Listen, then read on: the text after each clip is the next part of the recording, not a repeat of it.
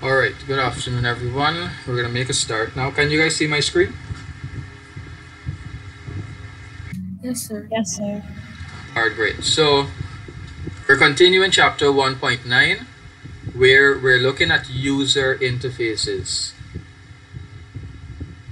Does anyone remember or have an idea as to what you think or what you can remember is a user interface? You can put it in your own words. What would you say is a user interface when you hear that term user interface? Or if I say something has a user interface, what would you say that means? Yes, Tosiram?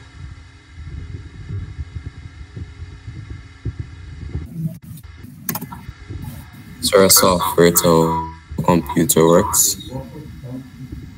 Like the um apps or so. So the software that you're using on the computer?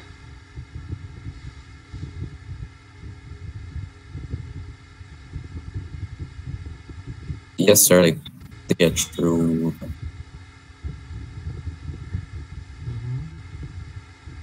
So like the software that is on the computer to do something on the computer?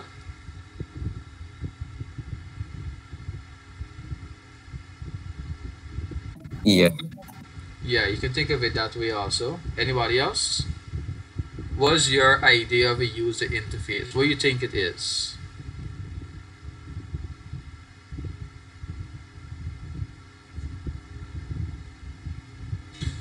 So you can break it up into pieces. Um, you have the term user, and who is the user? Who is the user? What do they mean by user?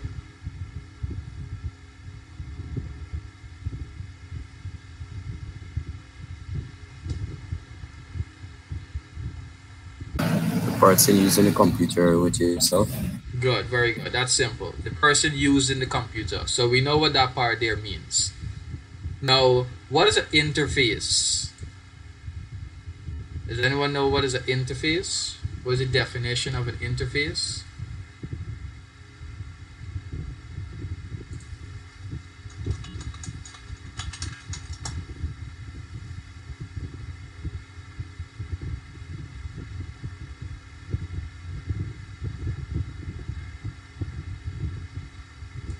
So, you know like a graphical display. graphical display yes that could be one also so it's a point where two system subject organization whatever the case may be where they meet and interact and uh, the verb form of it it's something that you interact with so that is an interface something you interact with so since the word interface refers to something you are interacting with. A user interface is basically what the user is going to be interacting with. So this user interface is found on different devices. Your computer, your phone, your laptop, your um, the traffic light system, your fridge, your microwave, they all have a user interface. And the user interface is basically what the user is going to use to interact with that system. So we have different types of user interface. We have hardware user interface. And we should already know the term hardware refers to anything that is physical. So once it has buttons, basically, that is a hardware user interface. So touch screen, sensors, digital cameras, keyboards. Once you're doing something physical with that system in order to interact with it, to do something with it, that is a hardware interface. And the other type of interface we looked at is the software interface. Basically, we're interacting with the software. We're not doing anything physical. We're interacting with software. So, for example, I'm sure you guys used um, um, if you have an iPhone, you use Siri. If you have a Samsung, you use Bixby or even um, Google Assistant. You guys use those already, right?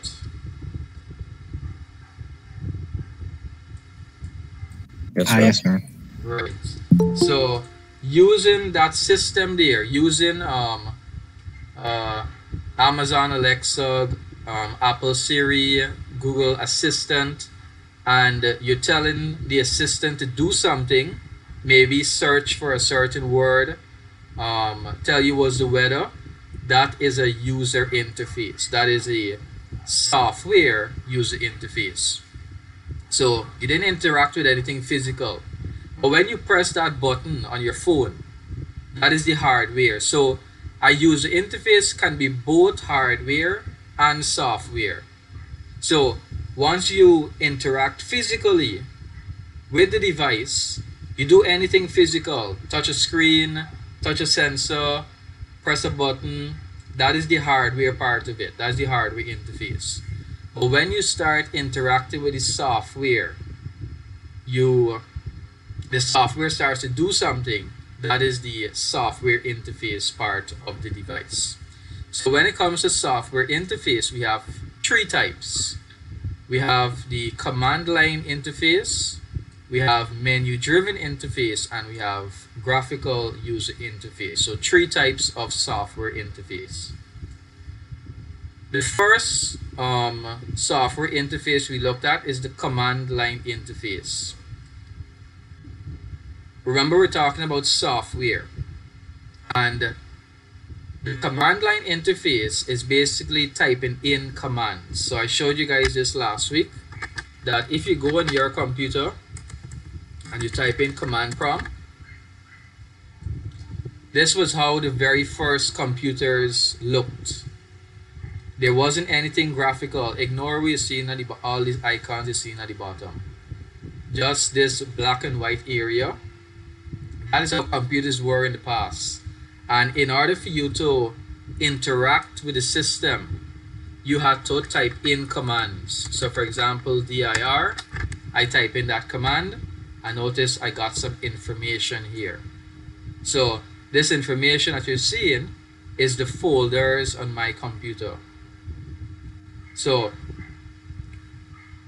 this software interface, which is called the command line interface, I am interacting with the system by typing in commands. Are you guys following so far?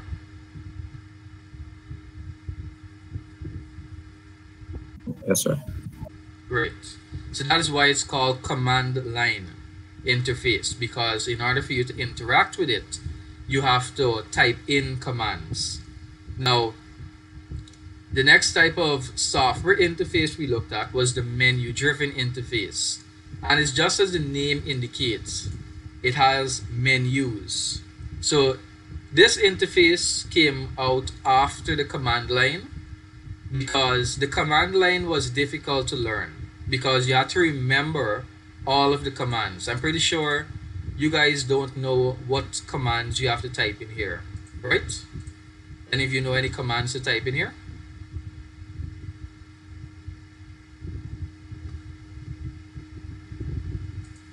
No, sir. You know a few? So I'm saying no, I don't know any. Okay, good.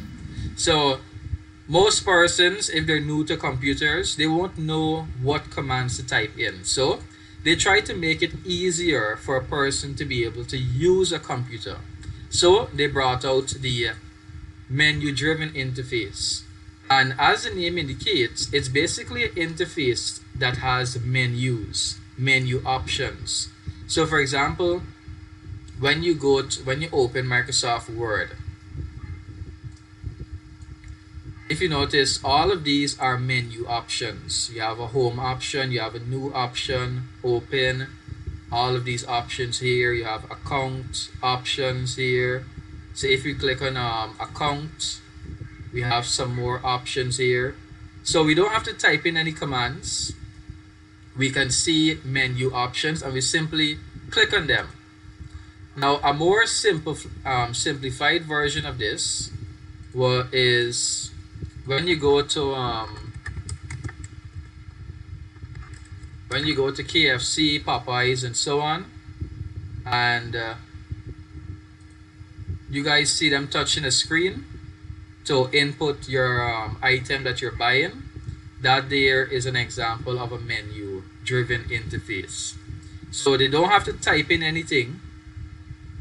You don't have to type in anything, any command like the command line. You just simply click on the options and that option would get selected. That's how they interact with the system by selecting the menu option.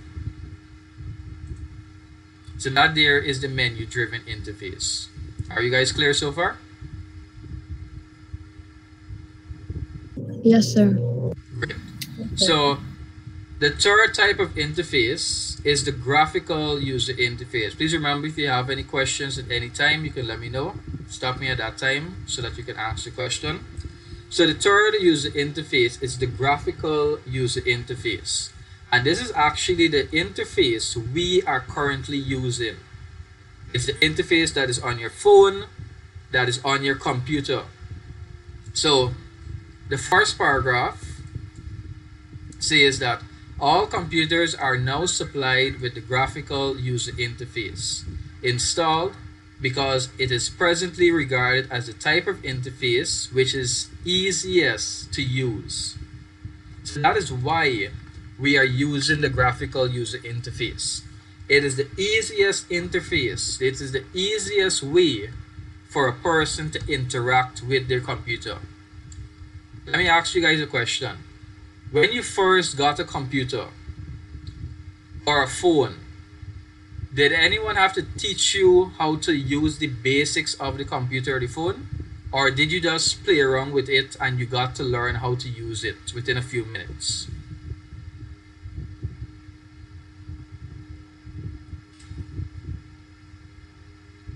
Uh, I played around with my um phone. Right? So anyone had to teach you how to use your phone? Mm, no, not really. No. Anyone had to be taught how to use their laptop or desktop? What I'm talking about is the basics, like when you have to click here to go to shutdown, um, you have to click on start to see all your applications. Anyone have to teach you all of that? That you got to click on paint to open paint? Or did you guys just play around and you learned all that? Which one? Sir, I wasn't sure on how to um shut down my computer, so I searched Google. Okay. But still, you did it on your own, right? Yes, sir. Good. So that is why um, all of these devices, that's why they're using the graphical user interface because it's so easy to use that some persons they can basically play around with the system and learn where everything is. And just like how you did, you went to the internet, you searched for whatever you need, and uh, you found it right away. And it wasn't that hard. So it's easiest to use, and that's why persons, um, that's why they built it into systems today for us to use. Now, continuing the paragraph, the main features of the GUI include ease of use for beginners, the ability to cut and paste, drag and drop files among applications. So, um, the ability to right click on something and uh, let me see, open this folder here. So, the ability to right click on a file and click copy, that is part of the graphical user interface. The ability to click on this file and drag it and move it to somewhere else that is part of the graphical user interface. If you compare it to the command line, you couldn't have clicked and dragged on anything. I can't click on this folder name and drag it anywhere else. I can't um, right click here and say copy this folder. So all of that, the clicking, the dragging is a part of the GUI. Continuing the paragraph, however, GUIs require a lot of memory and can slow processing time. What this basically mean is that the GUI slows down your computer. So a computer, if you compare it to the command line, for example, this here, if your computer was running this alone, it would run faster than having all of these um, icons and menus and all of these things here. So even though the GUI makes your system easier to use, it slows down your computer basically because it has to process all of these menu options and everything you're basically seeing. So the paragraph continues, sometimes simple tasks take longer than necessary because of the number of functions or steps required. So that's why sometimes your system might slow down because of all of these graphical things that are going on in your system. All of these icons, all of these menu options, the popping up and the moving and the dragging and the animations. Even simply doing this here, just simply moving this window like this here, takes a lot of processing power to do this here. Um, any of you ever did this here and your computer kind of slowed down? You see it, it kind of stuttered, like it like if it froze a little for like a few seconds and then it went back to normal. No one? Well, if you ever did, that's an indication that your system slowed down basically to try to keep up with that process in there, to try to keep up with doing that action there. So that is a GUI and uh, that is its abilities and its limitation there. Are you guys clear so far? Yes, sir. Good. So the next paragraph. A GUI comprises of basically four parts. We call that WIMP, windows, icons, menus, and pointers. So WIMP is the acronym. And so basically the GUI is made up of windows. So what you're seeing here, this box, this box where I have all of my PDF inside of, um, this Microsoft Edge win, um, box that you're seeing, is what we call a window. So if you notice the folder, this is also a window. This is what we call the window. Um, next we have icons. Icons, if you look at the tray at the bottom, the taskbar, all of these are icons. When you click on start, you're seeing a bunch of icons here also. So those are your icons. Menus. So we have, if you go into settings, you have a bunch of menu options here. Even when you click on power here, even all of these here, these are all menu options. Then we have pointer. Your pointer is basically your cursor. So wherever I move the cursor, that is my pointer. I'm basically moving my pointer so that I can interact with the system. I can interact with the window, I can interact with the icon, I can interact with the menu. So those four components make up the graphical user interface. So figure 1.29 shows an example of a GUI with icons and menus. So this here is Windows 10, or it looks like 8. So it's the same as I described earlier. So Windows, what is basically window? A window is a part of the screen that holds its own document or message. So a part of the screen. So as I explained, this here is a window. So most computers now use window-based programs. A window can take up the whole screen or it can be resized, moved or shrunk. So it can be moved, it can be minimized. So you guys, I know you guys know all this already. So that's basically the window. Each time you open a folder, you see it, you see its contents in a new window. More than one window can be open at the same time. This is particularly useful if you want to move from one window to another or copy files from one window to another. So we might think it's something simple that everything here is opening inside of a window that this is normal to us everything is opening inside of this window But you, if you think and compare it to this command line interface, where you have to type in commands, there is no window here. Everything is just about typing in commands. So these windows make it easier for us because we could simply have two window open like this here and we can be doing two things at the same time. I can click and drag. I could be looking at my folders, reading my document at the same time, all because of Windows. Now we have icons. An icon is basically a tiny picture of an object that is displayed on the screen. Normally you can use the icon in some way. For example, by using the mouse to double click on the icon of Microsoft Excel, you start the program. But that's only on your um, desktop. Or basically when you're in a folder, you would double click in order to open a file or that icon there. You would double click. But when you're in a menu, you do not double click. You only click one time. So you click on the, the icon one time and that there will open. Even these icons that you're seeing at the top here, it's only one click.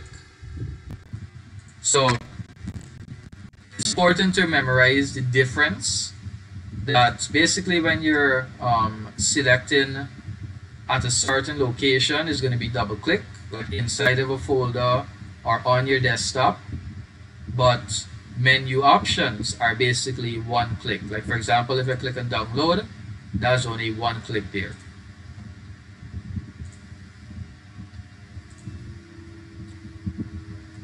The next part or next paragraph icons are designed to make things easier for computer users. So instead of having to remember commands all you have to do is remember what the icon looks like. And you basically double click on it and you open it search for it or so icons are not just for programs. They're icons for folders recycle bin disk drives and printers and so on. So once again if you compare it to the command line if you want to open the recycle bin you would have to know the command. Um, let me see think I'm not even sure what's the command. If you can just open the um, recycle bin just like that. But you would have to know the command to open the recycle bin.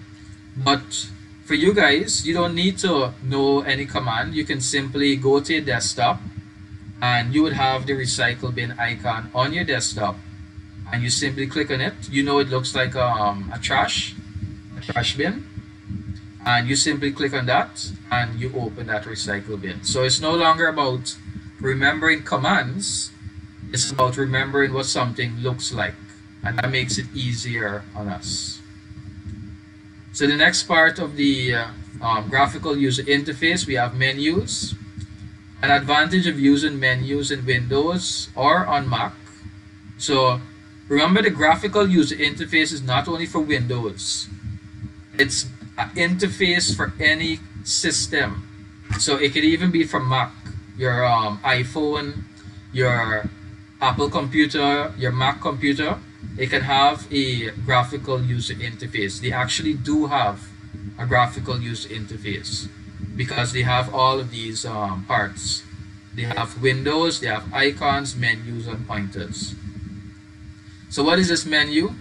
Well, for most programs, the first few menus are always the same order. Um, they also carry out the same function, no matter which program you're using. So for example, what I mean by this here is that when you open Word and you click on File, it's usually these same options that you're going to see. You're going to see an option for new, you're going to see an option to save, to print, even if you open it on Mac, even if you open uh, Microsoft Word on a Mac computer, the file option, when you click on file, is going to give you these same options here. When you click on home, it's going to be these same options here. And it's even the same for other application. Like for example, if I open spreadsheet, and I click on file, Notice the menu options are basically the same. the home options are somewhat the same. Well, what can be same? Notice the cut, copy, and paste. It's the same in both of them. So what can be the same? They will try to keep it that same way. Even paint. If you go into paint, notice there's the same file option. And when you click on file, notice the same options. New, home, save, print, and so on. So that is all part of the graphical user interface. To have menus with the same function so that when you're using another application, another software, no matter the system, it has some similarities between them. So for example, the file menu is first and enables you to, um, among other things, to create, to save, to print, and so on. Basically, most applications has this file menu and most of them, I think I would even say all of them, they have these similar options to create a new file, to save that file, to even print that file. They would always have that those similar options there. Now, we have two types of menus. We have the pull down menu.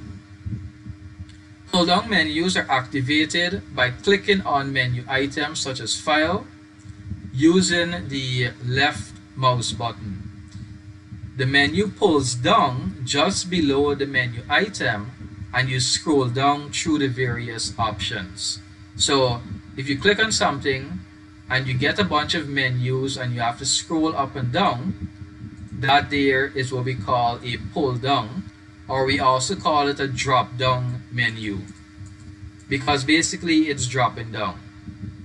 So if I click on, for example, this option here, these three dots over here, it came down. That is a pull down. When you go to Microsoft Word once again, and you click on File, all the options that are coming down, those are pull down menus. Now, in addition to pull down, we can have a pop-up menu. So pop-up menu is as the name indicates, it pops up in a certain location. So basically, when you right click somewhere, you get a pop-up menu. So anywhere I right click, I get a menu that basically pops up somewhere. And it could be different based on where I am right clicking. I get different menu options. So those are the two types of menus, pop-up and pull down or drop down. So pop-up menus are activated by clicking anywhere on the document screen using the right mouse button. So once you right click anywhere, you're getting a pop-up menu. Some standard menus and options are available on these menus including cut, copy, and paste. So once again, they try to make the um, menu similar. So the cut, copy, and paste, they try to put that um, notice you have you usually have to highlight but this is not a document so so normally when you right click you would see these options here the most. Cut copy and paste. You would see those the most. Even if you go in paint and you right click I actually have to open a text box right click so notice we have the same options here, cut, copy, and paste.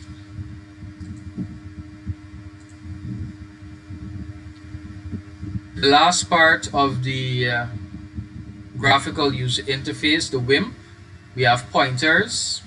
So the most common pointing device is the mouse.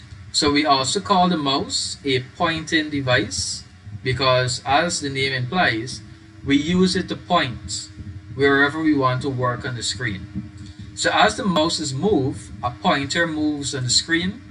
The pointer is very is a very important part of the GUI as it enables you to control the computer and choose and to choose window items to select text in a document, cells in a spreadsheet, and to create drawings, shapes, and so on. So it is what basically allows us to interact with the system to do something. Now, other pointing devices is going to include your graphic tablet, a joystick, and a digital pen. So that's what we use on touch devices. You guys know what these look like? Graphics tablets, digital pens, and so on. Yes, sir. All right. For those who don't know, a graphics tablet is basically a flat surface that you use to draw on. So it doesn't have to have a screen. It can be without a screen, like for example this one here. So those are graphics tablets. Um, a joystick is basically um, a device that allows you to control directions. So it's mostly used in games, like for example, um, flying simulators, airplane um, simulators, um, racing simulators, and so on.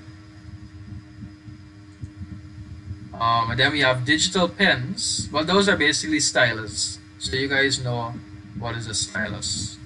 So those are all pointing devices. Those are devices. So instead of using your mouse, you can actually use any one of these devices.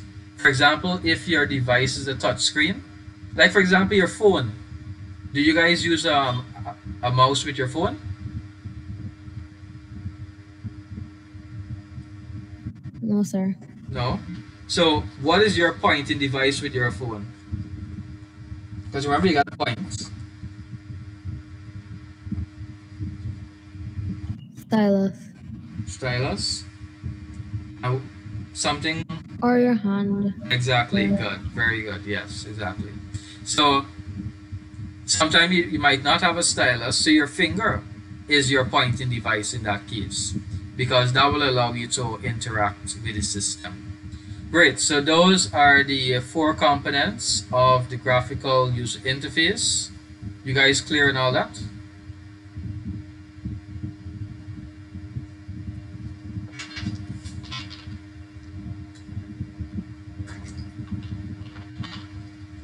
Are you guys clear? Following? Yes, sir. Yes, Alright, sir. The last part of the this chapter here is basically improving interfaces. So software companies spend a great deal of time and effort trying to improve the interface so that the computer is easy to use. So that is their main aim. To ensure the computer is easy to use. Any person can open the system, turn it on, and be able to use it right away. An important part of this is to design the system software and application programs so they work exactly the same way each time they are used. And the menus are always in the same place. So that's what they're aiming for, um, developers would aim for. For the menus to be similar and for every time you use the software, it is similar for you to use. For example, even right now, this software that I'm using to record, if you notice, there's a file option right here. Um, most applications would have a help option at the top here, and they would also have this edit option. So they try to make software similar in terms of their menu so that it's easier for persons to use. People use computers to many hours a day, therefore the screen design and screen colors must be visually pleasing and soothing. However, some colors might be impossible for the visually impaired to see. Therefore, audio hardware interfaces have become useful. So we have a, another type of user interface here. This is basically a combination of um, hardware and software. So it's like if you're using um, an assistant, but it might not be um, the popular ones like Google Assistant and so on. It might be a specialized one, but it's that idea there. So that's it for this chapter here. User interface. So remember, user interface is basically how you're interacting with the system. We have hardware interface and software interface. All right. If no questions on that chapter, we're going to move on to chapter 1.10. So in this chapter, we're looking at the different types of computers that you guys should know about.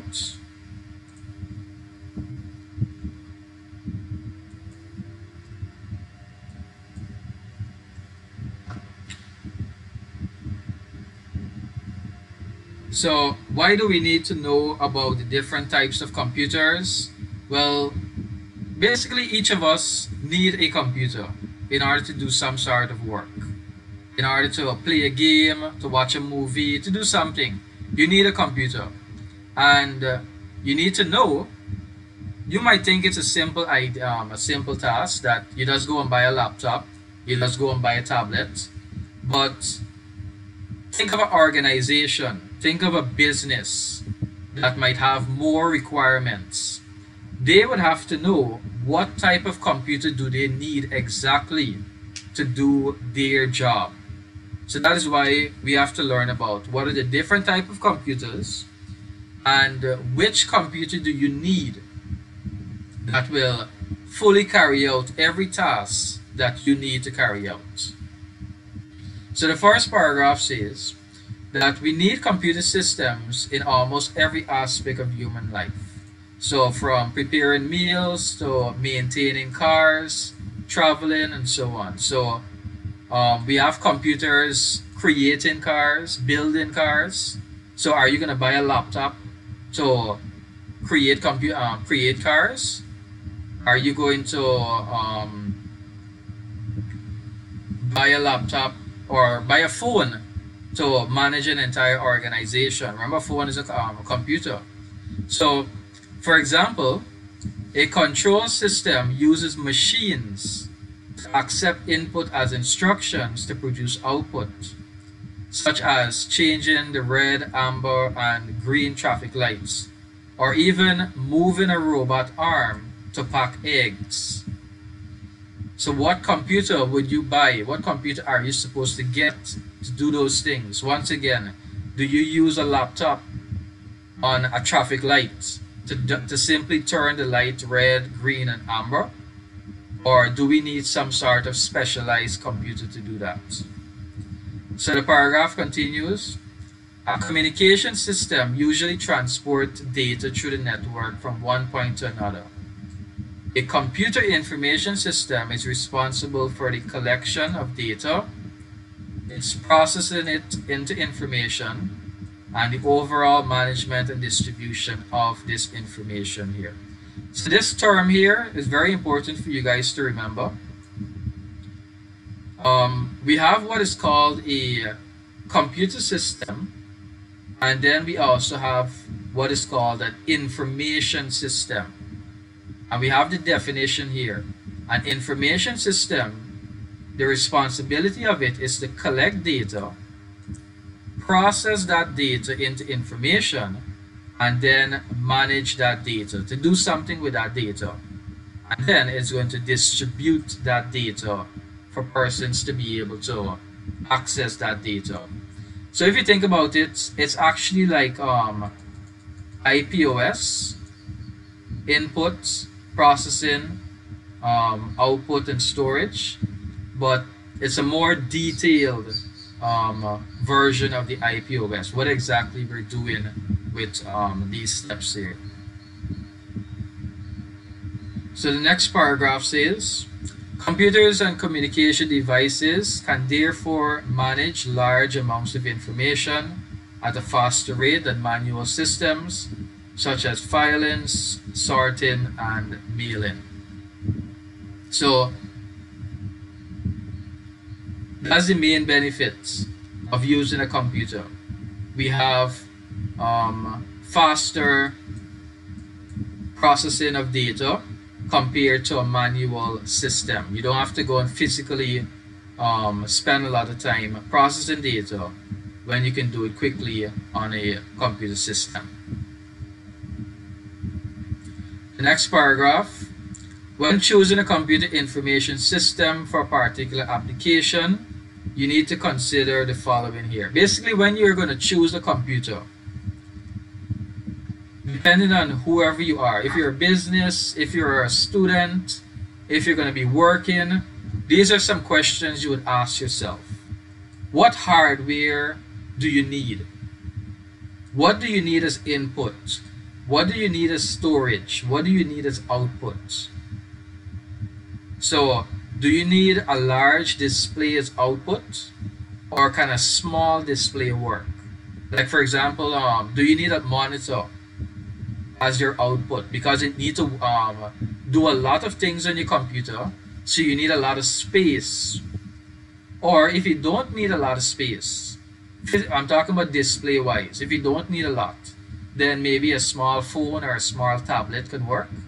So that's some questions you can ask. Which devices do you need? Now you can ask yourself, what software do you need? Um, do I just need to use Microsoft Paint and the applications that come with Microsoft? Do I need to just use that? Then I can buy a simple laptop or I can buy a simple desktop because that can use it. But can I buy a tablet? Can I buy a phone to use Microsoft and Paint and all of that? The uh, answer is no because the uh, Microsoft applications might not work so well on a phone or a tablet compared to a computer or even Adobe applications. I'm sure you guys heard about Adobe Premiere, Adobe Photoshop. So if you want to edit pictures now, are you going to buy a phone to edit pictures or are you going to buy a desktop, a laptop in order to do those tasks? So what software you're going to use is going to determine what computer you're going to get. What processing do you need to needs to be taking place? So what we mean by processing, remember the calculations, the what you need to do with your data. So it all depends on your application once again. If it's just Word you're gonna use, then you don't need like um, a high-end CPU. When we talk about processing, we're referring to the CPU because remember the CPU is responsible for processing. So if you need a lot of processing, for example, if you're going to be editing videos, you're going to be editing pictures, you're going to be recording videos, then you're going to need something that has higher processing. But if you're just going to be using your computer for typing documents, um, typing letters, or whatever the case may be, you don't need a lot of processing. So that is where you can get a more cheaper system compared to um, a system that is going to be used for editing um, videos and so on. So the fourth point, what human computer interface is used? So remember we just learned about interface. What interface do you need? Keyboard and mouse? Do you need a graphics tablet? Do you need a joystick? For example, um, for example, remember we talk about this joystick here. Flight um, simulator. Anybody ever heard about that flight simulator?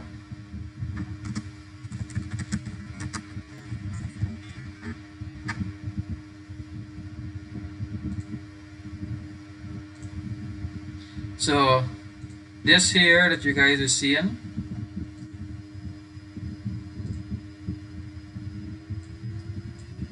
This here is a computer setup just to run Flight Simulator. So notice three monitors, all of these hardware devices that you see in here. Notice the um, the joystick is over here on the left. He has a, a specialized keyboard over here. Some sorts of specialized hardware here. Another um, joystick here, pedal in the middle, um, a, um, a pad interface in the very center. So just to play a game called Flight Simulator. Just to play this game here. This person has all of these hardware interfaces, all of these hardware attached to his system. so that he can play this game. So he had to ask himself those very same questions. What do I need to, in order to play that game properly? So, what interface do you need? Which people are involved? What work are you going to do? So, it's basically the same questions as above. What software do you need? What are you going to do with your system? So, like back to this situation again. Are you going to be using your system to play games? Are you going to be using it to train yourself? Because even though this is a game, it's actually being used to train pilots. So, are you going to be using your computer to train yourself how to work? Or are you just using your system to um, type a document? Those are questions you're going to ask yourself. What data do you need? The last point. How are you going to get this data? So, depending on those the answers those questions can determine what type of computer you are going to need and what hardware and software you're going to need. Are you guys following all that?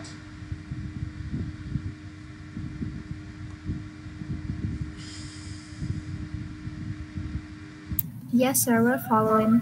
Any questions? No questions. All right. So the next paragraph, the first four points were discussed early in this chapter. So that is why we learned about input devices. We learned about all the hardware. We learned about all the software because you guys should now have the ability to know what hardware does your computer need? What input device does my computer need to do something? What output device does it need? What uh, processing device does it need? What software what type of software do i need for my system? So the paragraph says you can now apply this knowledge to decide which system and applications are appropriate in various computer uh, computer related fields based on their input, processing, storage, and output needs. And this is basically how you decide on your computer, the same IPOS, because you have to decide how am I going to input my data? How should I input it? Do I want to use a keyboard and mouse or do I want to touch the screen? How do I want to process it? Or do I need to process a lot of data or not so much data? Do I need to store a lot of data or not so much data? And how am I going to output? Do I need to print something? Do I need um, monitors? Do I need um, speakers? All of that will determine what type of computer you're going to get. So now we're getting into the different types of computer systems that we have. So computer information system can be chosen to suit different users and tasks. They're also classified by their processing speed, storage, and portability. So these are the three factors as to how they classify the types of computers. We classify computers based on how quickly they can process data how much data it can store and whether that system is portable. Portable meaning we can move it around like a phone or a laptop. So processing speed, storage, and portability. That is how we classify different computers. So the first type of computer we have here, we call it the mainframe computer. Um,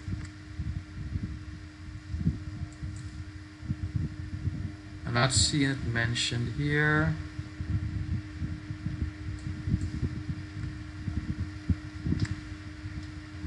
Alright, before we go to mainframe computer, the largest computer you're going to find is what we call a supercomputer.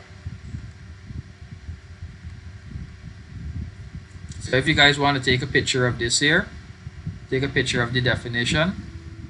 So a supercomputer is a computer with a high level of performance as compared to a general purpose computer. The performance of a supercomputer is commonly measured in floating point operations. Actually, let me see if I find a better definition for you guys.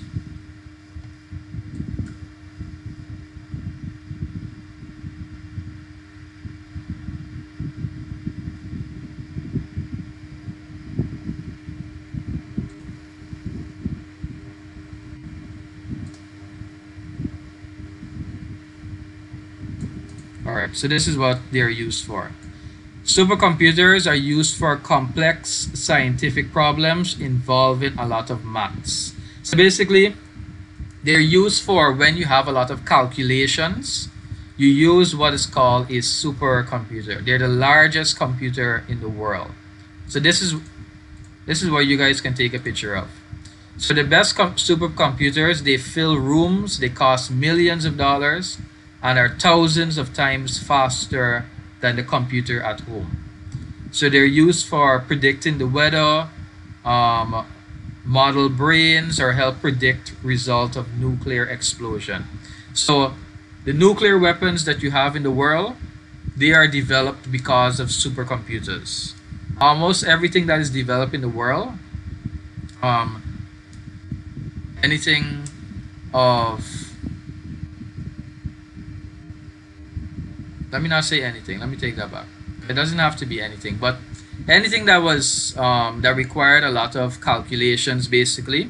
Like for example, even um, even um, coming up with vaccines in medicine, you can use a compu- a supercomputer in order to do that processing of the va- of the um, the virus, so that they can basically figure out how to come up with a vaccine for that um, virus there. So supercomputers are also used in that manner. So after the supercomputer, which is the largest, we have what is called a mainframe computer. So this is our second type here. So this term generally refers to a cabinet containing the CPU or mainframe Mainframes are very large capacity computers with several CPUs capable of supporting hundreds or even thousands of users. So it's not as large as supercomputer, but it is large. It's what businesses and organizations would use. So the paragraph continues. Um, those such as IBM zEnterprise mainframe are built with spare components to prevent breakdown. So spare components. So your computer that you have at home is going to have one CPU, is going to have one hard drive, is going to have um, one power supply. We call it a power supply, where it gets its power from. So your computer at home has one of everything. So if one go if it goes bad, that's the end of the computer until it gets a new one. So what we mean here that has spare components, the mainframe computers actually have multiple parts. It has multiple CPU, multiple hard drive, um, multiple memory, um, multiple power supply. So if one goes bad, the other is still working or basically takes over for the one that went bad. So that's why mainframe computers keep working all the time because they have spare components. So what they do is that when something goes bad, they simply replace it with a new one and the computer basically never turns off. So the paragraph continues. Data flows between peripheral and communication devices Users may connect to the mainframe remotely and only the system administrator will have direct access to the physical computer. So a mainframe computer, let me show you guys what it looks like. Do they have a picture? No? So this here is a supercomputer. What you're seeing here, notice it's an entire room all of these um, this actually has multiple computers inside of it. So it's not just one computer it's multiple computers inside of it. So in this image here um, think of each blue line that you're seeing as a computer. Now if we search a mainframe computer, it might look similar. It might look similar to um, the supercomputer, but in terms of um, processing and um, size and so on, it's not as powerful as the supercomputer. But it's designed as similar to the supercomputer. So this here is what we call the cabinet and it would have those multiple computers inside of it. Um,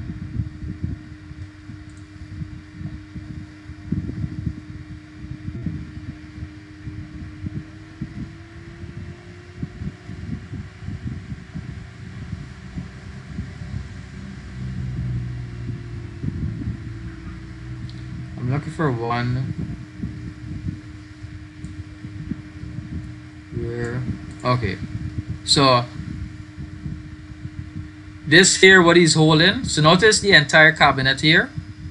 Seeing the entire cabinet? But what he's actually holding here is the computer. But I think this here just imagine I think this is more of the hard drives.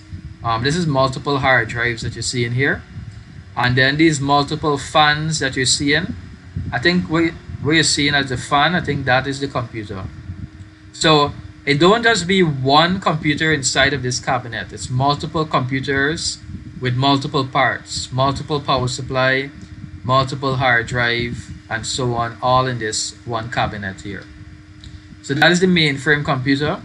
So if you notice this mainframe computer it doesn't look like the normal computer that you would use. Like for example, this image here is not a computer that you just go to it and sit down in front of it and just start using it. It's actually, that's why they say here, you connect to the mainframe remotely. So you use your own personal computer. So for example, like how she is right now she's using her own personal computer and what happens is that this computer connects to the mainframe computer. And it uses what is on the mainframe. So you don't use the mainframe computer directly. It's basically a means to um, it's what stores a lot of data process a lot of data and you basically connect towards it. So for example, um, Facebook, WhatsApp, all of you use that. And you're actually using a service called Facebook and WhatsApp. And all of this service is on a, um, a mainframe computer. So they're going to have multiple mainframe computers and all of these are going to run that service Facebook, WhatsApp, and so on. And what you guys actually do, you are connecting to that mainframe computer with your own device, with your phone, with your tablet, with your computer. And you, through your device, are using that mainframe computer with the application in your device. Are you guys following me with that? You understand what I said?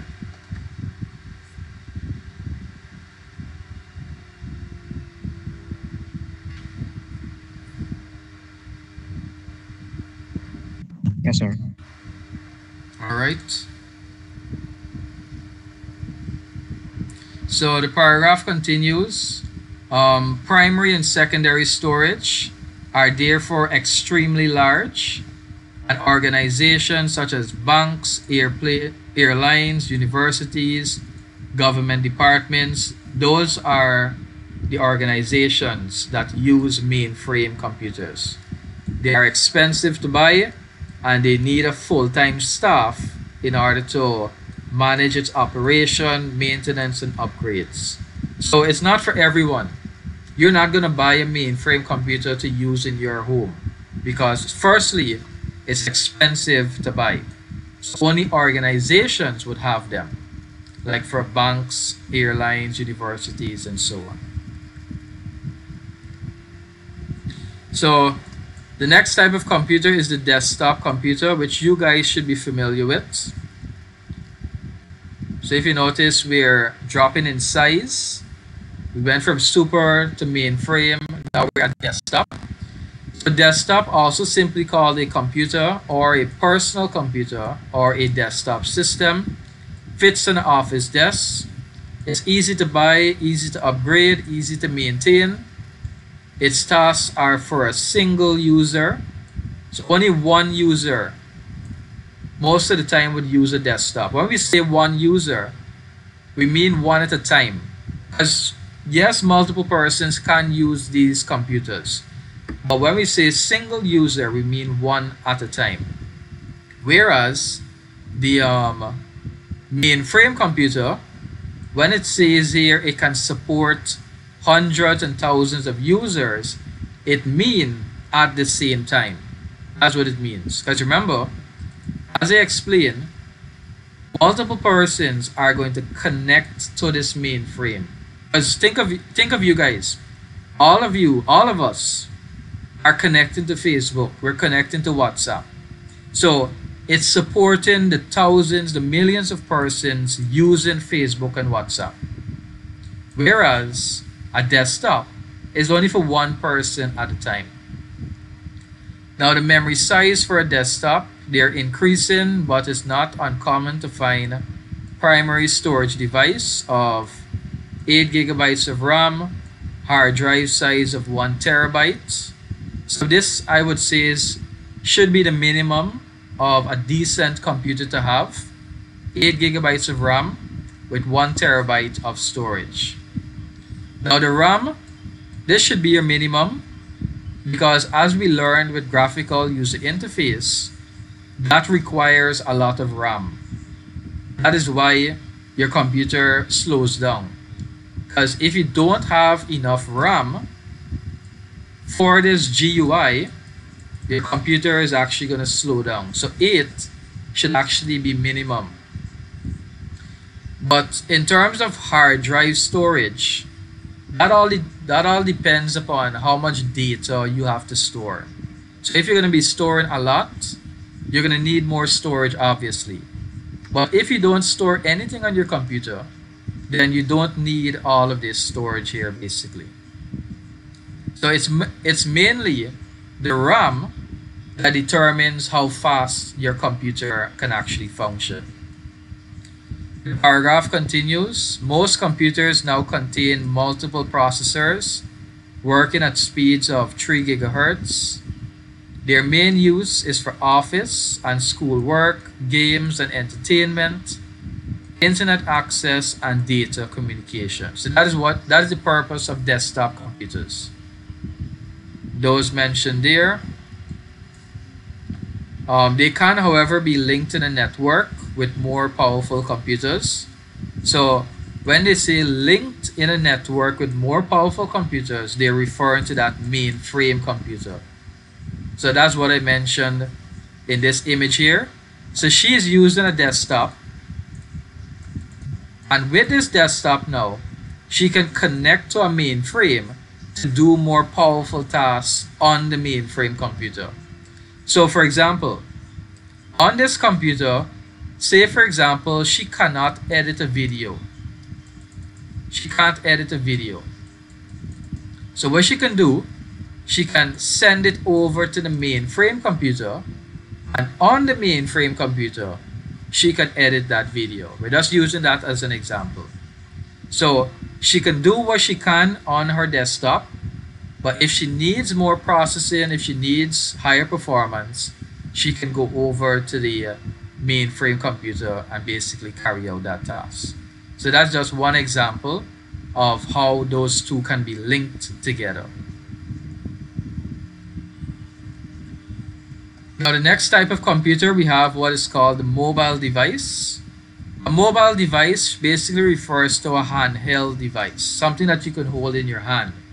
So that's going to include your laptop, your notebook, your netbook, tablet, smartphone, e-reader, game console. Yes, your game console is a computer and it's a mobile device.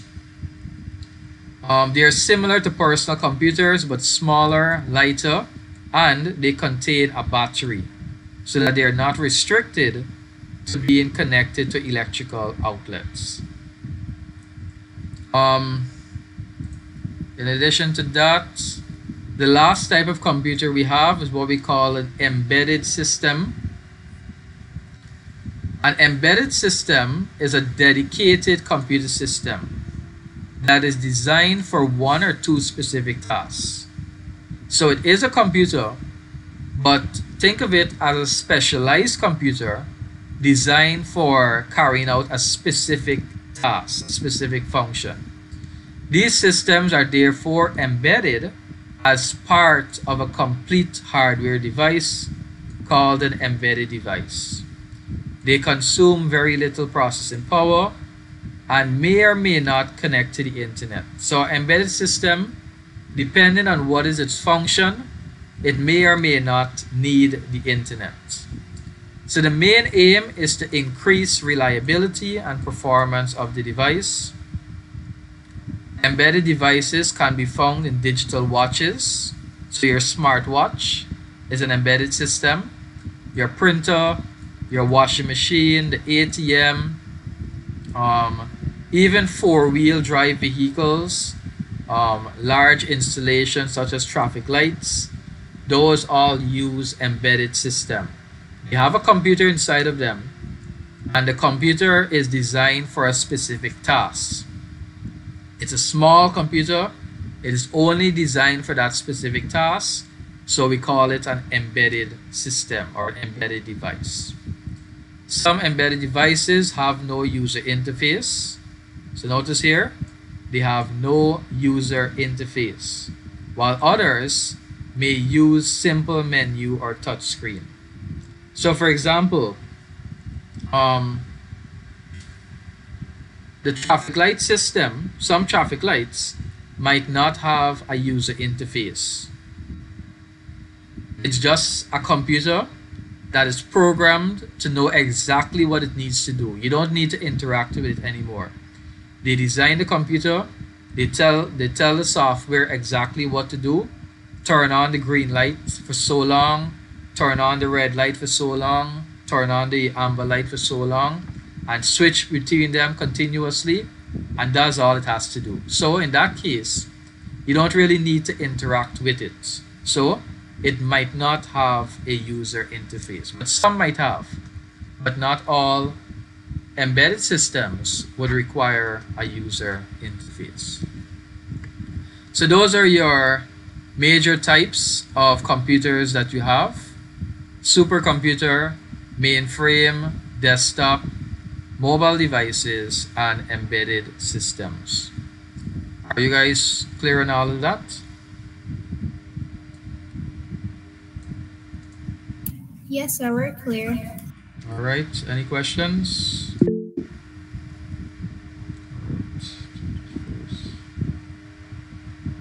All right, well, we don't need to rush. I think we have we have um I told you guys your exam starts on the 28th, right? Yes, sir. All right. Yes, So we, got, so we have two more Saturdays, so we don't need to rush because we can cover this next week and start 3.1 next week. So we have two more Saturdays. All right. So we could stop here for today because we covered a lot for today. Um, remember the main points. A user interface is a system, is a way basically that you interact with a system. You have hardware, which is referring to anything physical, and you have software, and you have three types. Command line, basically you're typing in a command.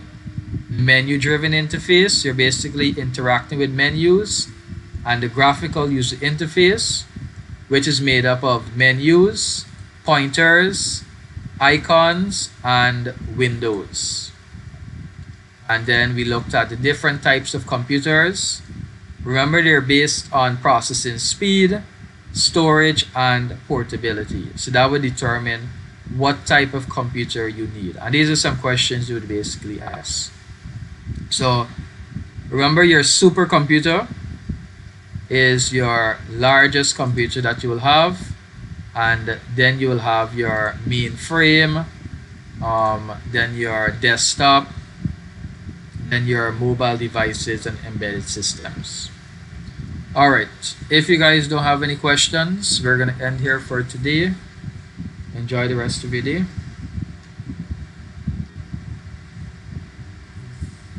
Bye sir. Goodbye. Bye, bye.